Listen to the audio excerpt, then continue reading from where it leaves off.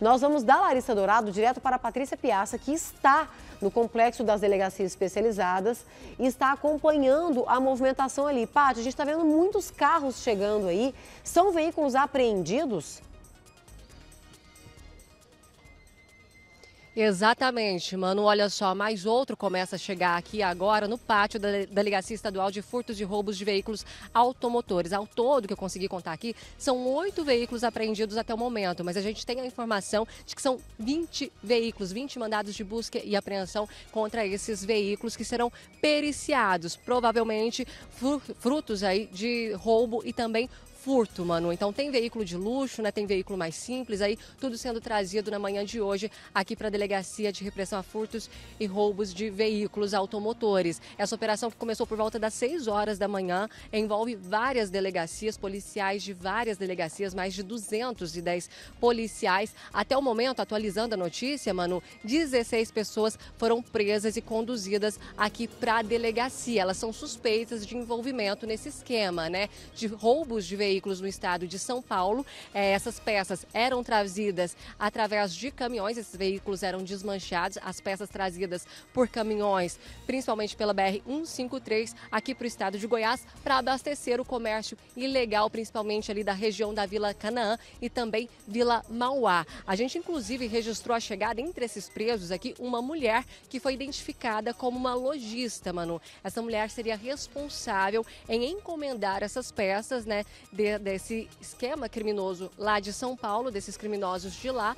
E aqui ela distribuía essas peças para outros lojistas, isso segundo informações da Polícia Rodoviária Federal. Essa investigação que começou inclusive com a PRF durante a apreensão de um caminhão aí com essas peças roubadas vindos, vindas do estado de São Paulo, lá em Morrinhos, na BR 153. Depois disso, teve esse desdobramento, já vai para um ano de investigação e hoje estão sendo cumpridos mais de 100 mandados judiciais, 35 de prisão temporária contra lojistas, motoristas e gerentes e 71 mandados de busca e apreensão, 28 em lojas e 43 em residências, né? A operação ela acontece simultaneamente aqui em Goiás, Rio de Janeiro, São Paulo e no Distrito Federal. Essas 16 prisões, a gente tem informação de que já aconteceram aqui em Goiás, também lá no Rio de Janeiro e em São Paulo, né? Ainda não foi confirmada nenhuma prisão lá no Distrito Federal, em Ceilândia, mais precisamente. Manu, a gente segue aqui acompanhando essa movimentação. Muitos veículos devem chegar ainda agora cedo, né? Essa operação começou por volta das 6 horas da manhã. Esses mandados ainda estão sendo cumpridos. Tem muita equipe lá na Vila Canaã, ainda nas lojas por lá, porque estão recolhendo material, né? Com esses mandatos de, mandados de busca e apreensão. Várias peças sendo recolhidas para passar por perícia. Um grande esquema, mano, que conta, né? Com é, é, raízes dessa quadrilha lá em São Paulo, também no Rio de Janeiro e principalmente aqui em Goiás, Manu. Patrícia Piazza, então, trazendo da porta da delegacia de, de roubos e furtos de veículos, de repressão a furtos e roubos de veículos automotores, trazendo as informações. E a gente vê que são carrões, né, gente? São carros caros, são carros avaliados em centenas de milhares de reais e que estão sendo apreendidos. Ou seja, como a Larissa já tinha trazido as informações e a Paty agora está reforçando, é, são pessoas, algumas delas, que levavam uma vida de luxo, que ostentavam uma vida de luxo, e isso baseado em quê? É, é, é, com base em dinheiro ilícito, né? Eu queria pedir, meninos, por gentileza, a imagem da mulher. A Paty trouxe o detalhe de uma mulher que era uma mulher que encomendava, né? Essas peças, encomendava os veículos. A gente acha a gente parte do princípio, né, que ah, a mulher não mexe com isso, que nada, né, gente? Mexe. E muitas, aliás, comandam esquemas. Esta seria, tá, a mulher que a polícia indicou como a mulher que encomendava os veículos. Encomendava o roubo ou furto em São Paulo e aí vendia as peças aqui. Vocês conseguem é, calcular a dimensão de se comprar uma peça do mercado negro? É isso. Você compra uma peça do mercado negro. Ah, roubaram o para-choque do meu carro. Roubaram o, a, o, retrovisor do meu carro. Eu vou lá no mercado paralelo e vou comprar sem nota fiscal. Enquanto eu falo, deixa eu chamar imagens agora, por gentileza, ao vivo do nosso drone que está em outro ponto, tá? Nós temos equipes em três lugares. A Larissa Dourado, que está acompanhando uma equipe da polícia, que está cumprindo mandados de busca e apreensão e de prisão em um ponto da Vila Canaã. Patrícia Piaça está no complexo das delegacias especializadas para onde a, a, os presos estão sendo levados e os carros apreendidos em, e também documentos estão sendo levados. E o nosso drone está neste outro ponto onde a equipe da, equipes da polícia, né? A gente vê a viatura ali da PRF, da Polícia Rodoviária Federal, cumprem também as equipes de PRF e IPC, também Polícia Civil, cumprem mandados de busca e apreensão e talvez de prisão, não temos ainda essa informação.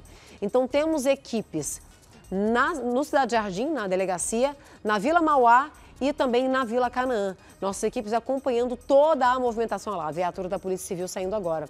Toda a movimentação dessa mega operação que está sendo realizada neste momento, a essa hora da manhã. Só, ô, drone, movimenta aí pra gente, por gentileza. Vamos fazer a movimentação para mostrar aí por cima o tamanho deste local onde as equipes estão fazendo, né, cumprindo os mandados ali, olha a quantidade de veículos. Não significa, tá, gente, que todas essas carcaças e esses veículos são furtados e roubados, não. Mas no meio de alguns que não são, sempre tem aqueles que são roubados, furtados, peças de veículos é, é, é que foram é, alvo de crime, né, gente? E aí acabam se misturando ali, porque eles não vão montar um negócio só com peças de veículos roubados e furtados, que isso dá muito na cara, né? Tem que ter aquele esqueminha ali meio, meio camuflado, sabe? Do lado esquerdo, de cima da tela, imagens ao vivo do nosso drone. Do lado direito, imagens ao vivo da nossa equipe na porta da delegacia, é, de, do, das delegacias especializadas, perdão, recuperadas. Embaixo, a, as equipes chegando com uma das mulheres ali agora, né? É, que é uma, seria uma das mentoras desse esquema. E do lado direito, nosso cinegrafista Andrezinho Almeida trazendo imagens ao vivo dos veículos apreendidos, que seriam veículos usados pelos criminosos.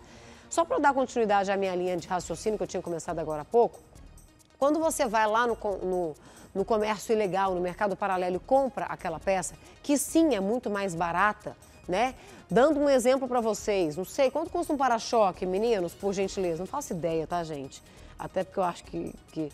Enfim, depende do carro, mas vai, 500 reais, Jojo, por exemplo? 500 reais, um para-choque, por exemplo, tá? E aí você vai lá e vai achar de 200 reais no mercado paralelo, lá na, na famosa rouba alto, né? E aí você vai comprar, ele não tem nota fiscal, você não sabe de onde ele vem, não tem procedência, e você vai comprar e falar, ah, mas poxa vida, eu estou economizando, afinal de contas roubaram, eu fiquei no prejuízo. Mas é isso. Você, por trás deste para-choque ou dessa peça que você compra mais barata, você tem que pensar que alguém pode ter perdido a vida no roubo deste, deste veículo, alguém é, é, viveu o trauma, às vezes com crianças dentro do carro, viveu o trauma de ter a, arma na cabeça para ter o carro roubado, para esse carro roubado ser desmontado, para essa peça ser adulterada e ser vendida no mercado negro. Então, se você não gosta que a sua peça seja roubada do seu carro, não alimente este mercado, porque é comprando ali mais barato, sem procedência, sem nota, que você vai continuar alimentando, que os criminosos continuem roubando ou furtando para que esse comércio exista. É ruim ter que comprar uma peça mais cara se você foi roubado ou furtado? É horrível. Mas enquanto você continuar fazendo isso, você vai continuar mantendo esse mercado aí vivo, tá? Pense nisso toda vez que você for comprar. São 8 e 4 da manhã com essas imagens ao vivo. A gente vai dar uma pausa agora na cobertura dessa operação que está sendo realizada. E daqui a pouquinho a gente volta com mais detalhes disso aí, tá bom?